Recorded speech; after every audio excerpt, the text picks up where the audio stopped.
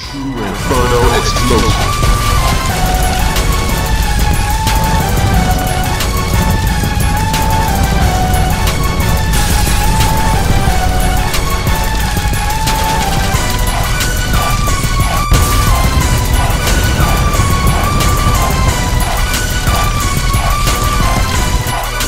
Alright, ladies and gentlemen of the YouTube citizens, we are now back to our regular scheduling here. This is Dash the Tru Inferno, aka the new Jay Gatsby and so forth. And keep in mind of the fact that there was six of us in this gameplay, and then it grows, and uh, some funny stuff happened in this gameplay. But enough about the gameplay, because over a period of time here, I have been bringing back some segments, you know. So I brought back the Men Be Men segment, where some of y'all thought it was a one-time thing. I brought back the Good Idea, Bad Idea segment, where some of y'all thought that was going to be a one-time thing. I brought back the WTF stories, you know, did the second one not too long ago. Well, now I'm about to bring back another segment, and this one I actually said I was going to do, but I never got around to do it because of other segments, other topics, other stuff was going on that I had to do commentary on. And this segment is club stories. Yes, club stories back. I got another club story for y'all. Actually, I got two club stories for y'all. One of them is longer than the other. So let's get straight into it. So, and both club stories are recent. They they both happened this year. They both happened within a month and a half, I believe. So let me tell y'all what happened. So like I said, this story happened like a month and a half ago, and I'm gonna warn y'all right here, right now. Expect some foolery in this video from yours truly. but check this out. So me and two of my boys, and I'm gonna call them. One of them the crazy one. The other one is we just gonna call him Shades. So the three of us, we went to this club called the Ultimate Sports Bar. Now, for those of you who stay in Detroit or is in Michigan and heard of the Ultimate Sports Bar, then you should know this was at one point called Lucky's. Where I never been to this place, I never been to this establishment where it was called Lucky's or Ultimate Sports Bar before, so this was my first time going. So we got there before 11 o'clock, therefore we got in for free. And then we went up and got some beers. Now, normally when you go to a club, to a a bar to a strip club or wherever, beer normally costs five bucks, six dollars, six fifty, or even seven dollars, you know, or eight bucks, something like that. Inside this joint, nope, beer was three dollars to three dollars and fifty cents, and we was like, give us two, like yeah, we want two of those.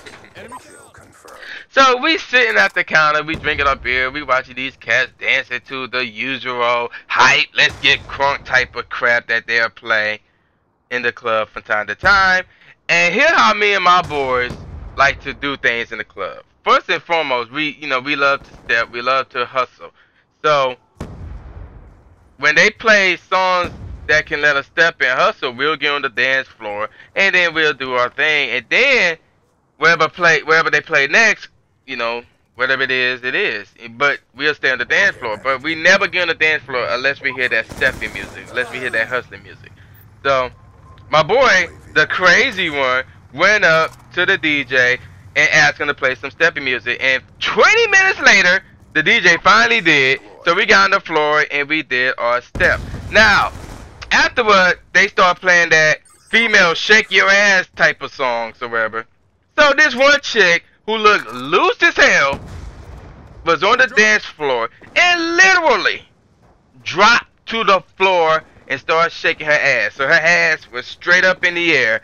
And this dude who been dancing with females all night, acting like a damn fool, this dude did something I have never seen before in my life. And when we started, we were just cracking up, rolling. So we called this move the crab. And here's why we call it the crab. Because this dude saw this chick, and I crap you not, he started dancing on her like this.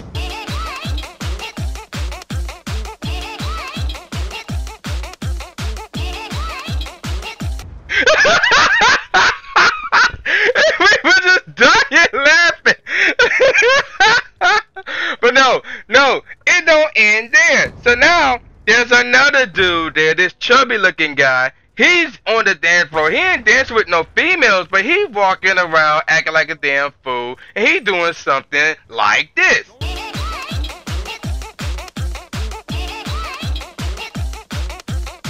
Now, judging by that alone, that's not exactly hilarious. But dog, you had to see this dude's face. That was killed us. Look at this.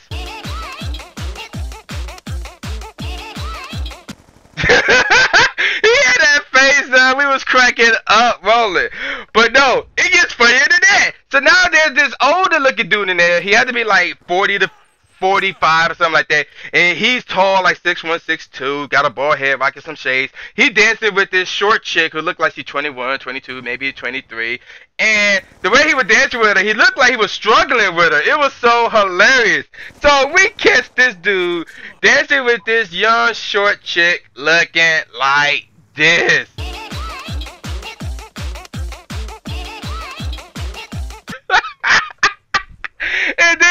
No, no, and then like a few seconds later, we stick, we catch him dancing on that same chick, looking like this.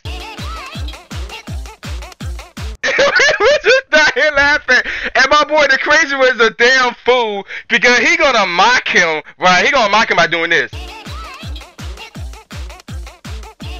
and I'm just like, I just bust out rolling because he was a damn fool. And then sometime after the club scene, right? We, it, it, oh my gosh, I still can't get over this one.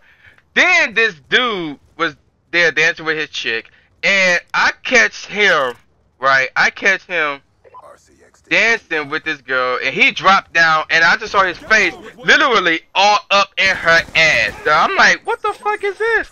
But no, now we get to the highlight of the night, right? So, but before we get to that, I gotta tell y'all a backstory. So, some of the guys that I hang out with, and we was dubbed at one point as the clique. We have, you know, some of the guys had their own signature dances. Me, I don't have one. Now, I'm not gonna show y'all what they all look like, but here's my boy the Shades here. Here's how he does his dance.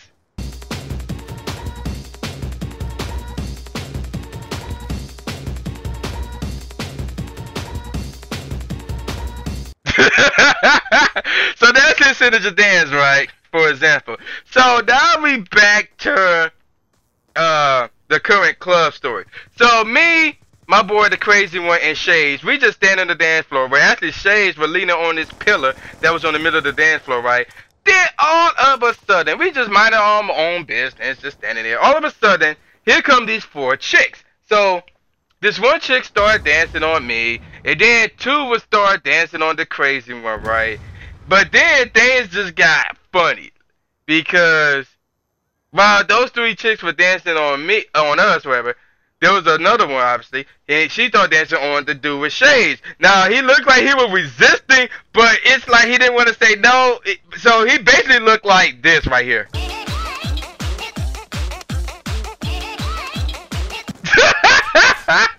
And we go, and we was like, oh man, that's his new signature dance right there. That was hilarious right there. Oh man. Now we're gonna fast forward to this past Friday night. So this time it was four of us. And this story does not involve any of my boys or anything like that. This does not involve me, anything like that. So we up in that joint. And it was okay, I guess. It wasn't better than the last time we went, you know. Because a whole bunch of crazy stuff happened. A bunch of females were dancing, which is rare nowadays. So, so we get to the part where it's near the end of the night, right? So, and normally when it get to the end of the night, the end of the club night or whatever, they want to play that R&B joint, you know, that slow dance joint or whatever, right? So there's this one guy there. Again, I don't know who he is or whatever. He would just, you know how you be breakdancing R&B down, dancing all slow and seductive or whatever, trying to attract that opposite gender or whatever. So this dude was doing that, but yeah, he was just acting like a fool with it. Like he would get on the floor and start dancing with his leg up. He would be slow dancing, staring at dude's face, and dudes look at him like, "What the fuck?"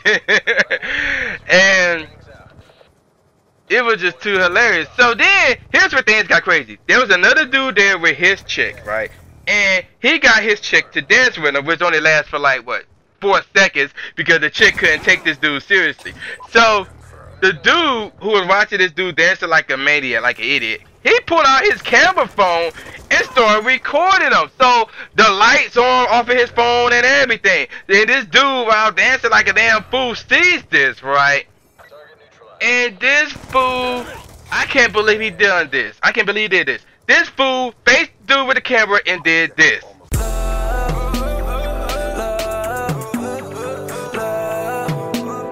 His shirt up and shit, and I'm standing here like, what the hell is this? Like, what is this? Like, what? What is this idiot doing? Like, what? What the fuck is that? And I'm just cracking up, rolling. and I'm like, what the heck, that? Oh my gosh, that was so funny. But at the same time, I was like, what the fuck? It, it was just too crazy. It was just too crazy. And then I remember, uh, actually, right before that though, there was some chicks on my right. I was just standing here leaning on this wall. There was these three chicks, you know, all of them thick, just standing there. And this, that same dude tried to dance on her or whatever, or was dancing in front of her to the point where she just abandoned her friends and went to the bathroom. oh man, that was hilarious. But let me get back to this gameplay. So, at the start of the gameplay, in case you failed to witness it, it started off as three on three, me and two dudes against these three other dudes. But then more people joined. But then it became me and these two dudes against five cats and check this out. First all, I got the final kill. Don't hate on that Rainbow Dash, because she is no joke, like a boss. But check this out, man. Look at my score.